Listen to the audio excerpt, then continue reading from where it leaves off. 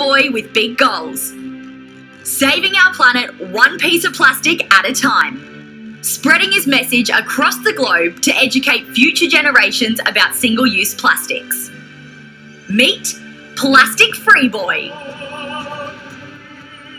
Hey guys, my name's Arlian, aka Plastic Free Boy, and it's my mission to educate kids about the importance of not using single use plastic to save our environment. Why? Because when I'm 42 in 2050, there will be more plastic in the ocean than fish. And that is a very scary fact to think about. So today, Arlian is here to show this totally wild presenter what can be done to help. So Arlian, talk me through what started your plastic free boy journey. So, almost three years ago, on my 11th birthday, I was on the beach with my mum and we saw three rehabilitated sea turtles being released back into the ocean. So, I asked my mum, why aren't these sea turtles in the ocean already?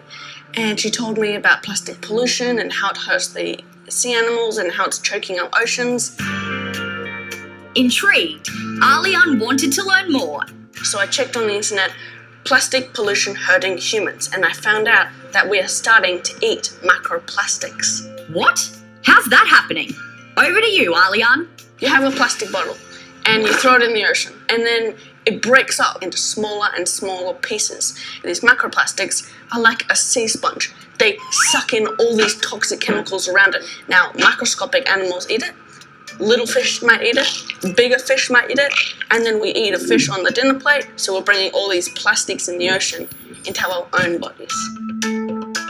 Millions of tons of plastic enters our oceans every year, and that's bad news for all of us. So, Arlian, what is your main goal by being Plastic Free Boy? So, my main goal is to inspire and educate as many children as possible globally about the importance of not using single use plastics and what effect plastic has on our bodies and the environment. Through personal activism, speaking at conferences, and even making his own documentaries, Arlian is doing his best to spread the word.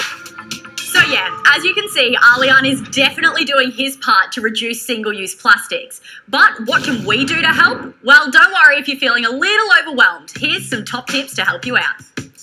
So, what you can do to save the environment in your day to day life is replace single use plastic straws with metal straws, replace single use plastic bottles with reusable bottles, or with plastic bags when you're going shopping with mom or dad, say, let's use a reusable bag. Someone else might sit back and think they've done enough to help the environment, but not Arlian. So, what's next for Plastic Free Boy? So basically, what we're trying to do now is we're making another film Another called one? called Plan B, which is about coral reefs, and we're talking about basically how corals work and how basically it supports a whole ecosystem, and how if the corals go, a whole ecosystem is collapsed. Wow, I tell you what, the future's safe in your hands, isn't it, buddy? Good luck. Thank you.